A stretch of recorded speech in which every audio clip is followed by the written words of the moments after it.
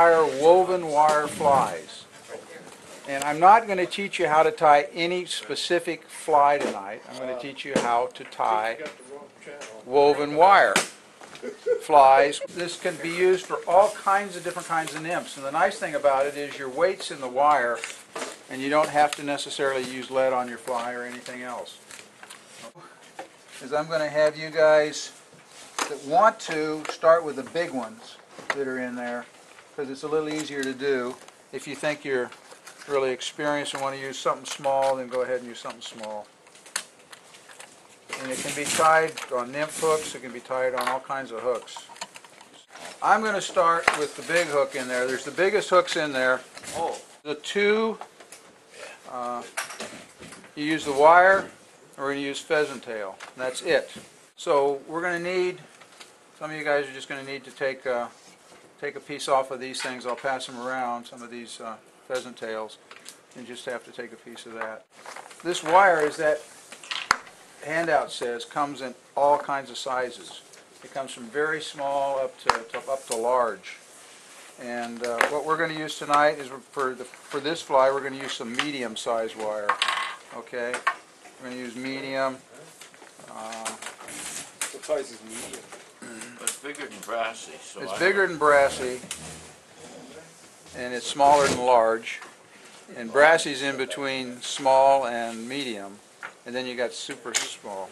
I don't think I got any. I mean, So what we're going to do is, they tended to use, they used a lot of uh, chartreuse and gold, and they used a lot of black and silver. So I'm going to need a piece of black wire. I'm going to do it in black and silver for you guys. And you use, you use way down in your scissors to cut it, Or other scissors. or other scissors.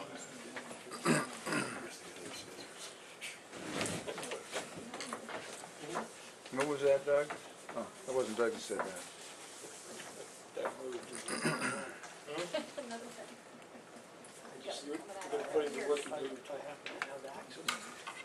Okay, so you're going to start your thread a little bit back from the eye, and you're going to wind a bed of thread all the way back.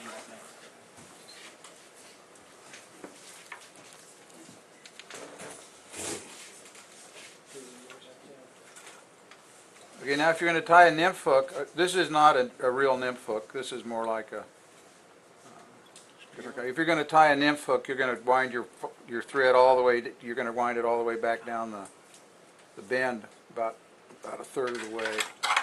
You're going to cut this off, and then you're going to take a piece of, of this pheasant pheasant here, just for this basic little fly. You can peel that off, make sure the ends are even. You can lay it in there with a little tail. We- We've got it zoomed in so we can see. Yeah, I do this at home with, there we go. Okay. And then you're gonna wind this, We're just so helpful. you're just so helpful.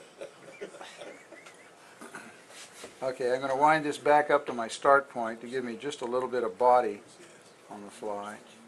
I'm gonna cut that off.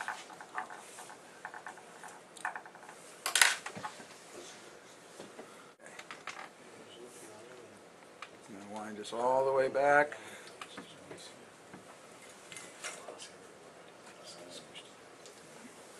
Avoiding the hook point again.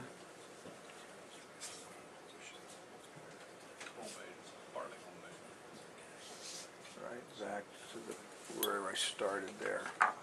I'm gonna take my two wires that I clipped off here. You're looking at what, five or six inches? Yeah, actually, it's, it's, it's a whole lot easier the longer you make the piece. When it gets really short, it's kind of Yeah. hard to do this weave. So you end up with some excess. I'm gonna lay the wires on, and I'm gonna lay the black wire on the far side. I'm gonna lay the silver wire on this side. And then I'm gonna start wrapping those wires down. Now, the reason I'm doing that on this big fly is that it gives the fly some width. Because these Well, kinds of they- flies are gonna have, uh,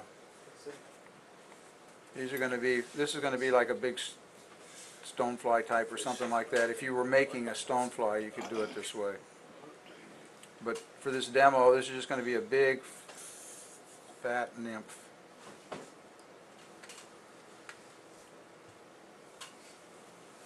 It all the way down, and I usually double it back a couple of times.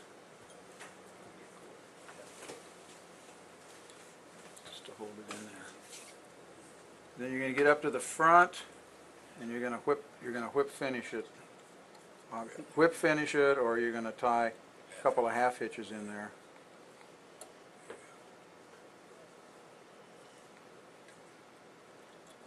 And you're gonna cut your thread off. Now then, the black wire's on this side, the silver wire's on this side.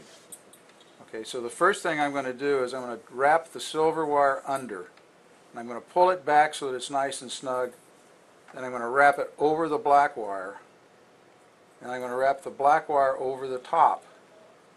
The silver wire comes under, wraps over the black wire, pulling snug. And then you're gonna wrap the black wire over the top, and the silver wire is gonna go under and over. Okay?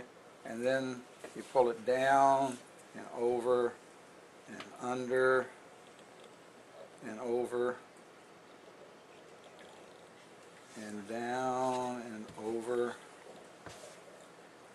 and under and over and over Silver ribs on and both sides. black. The silver's going on the bottom and the black's going on the top, so you end up with kind of a silver rib on the side.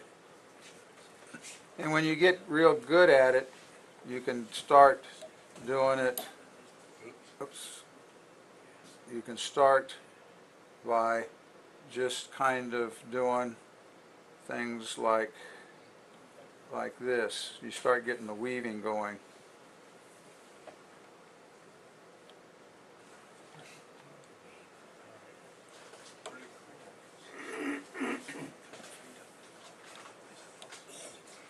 Who showed you this?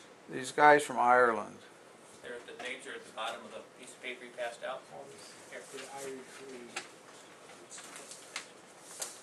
It wasn't drinking. Jerry Taggart and Lawrence Finley. Okay, and when you get up to the front, then you just give it a little twist to hold it. Use your scissors to cut it. And it's all ready to go there.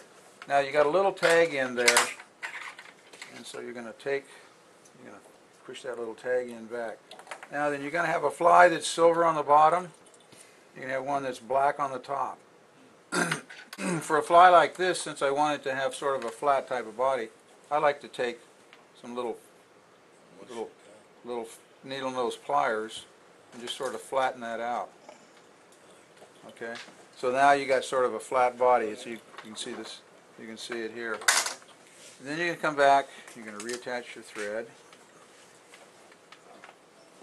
You're gonna reattach your thread, How come you had to cut the thread off? get it out of my way.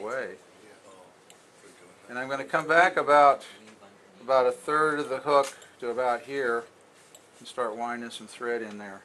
And I'm gonna put this off, I don't need it anymore. Because now I gotta build up a thorax.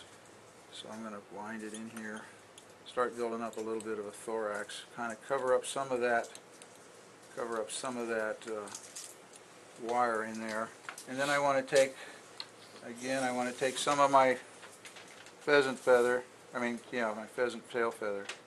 And I want a pretty good sized chunk this time, bigger than last time, that I want to use. And I'm going to lay that in there with a pretty good long behind the fly there, okay? And then I'm going to wrap that in there, wrap it towards the front. And I can take those pieces and double them back, whatever I've got. Start using that to build my thorax. So I wrap that, so then you just, you want this fly to sink, so you're gonna just use all all thread to build up your thorax. What kind of wire is that? It's that uni wire, you know. It's, I don't know what it's made out of. It's copper base. It's copper based. Okay, so now you get your thorax all built up. And you come back, bring your thread back to the front. And this piece here, you take it and you push it over, over the back of your, your fly. And you tie it, tie it in there.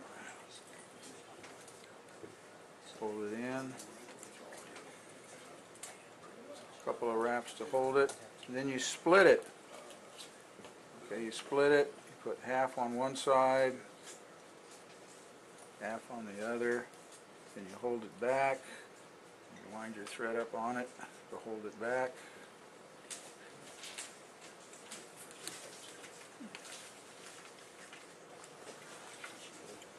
And when you're there, you got a fly, you either do a whip finish or throw some half hitches on it, and you're done.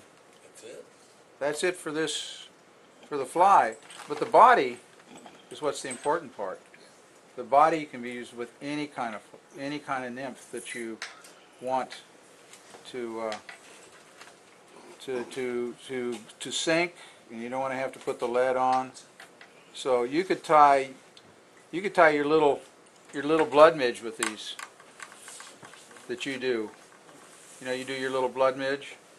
You could tie it with real fine wire. and You could wind, you could wrap it if you want with two colors. Yeah, they did some blue wing, uh, blue olives down to sixteen, put it on a curved hook, and they were fishing with them. So, and you got, it comes, the wires come in all kinds of colors. I was looking for some, I wanted to do some purple. I wanted to make some steelhead flies out of these.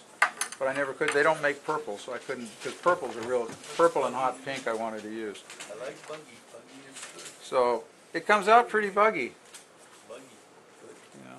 And you got, you got the silver underneath, you got the, the black on top.